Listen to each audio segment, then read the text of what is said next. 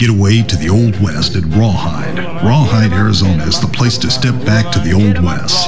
See stories about the Old West. Gunfights. Balloon shooting. Shopping. Train rides. Stagecoaches and more. Head south on I-17 and follow the sign to Rawhide. You're gonna love the Old West.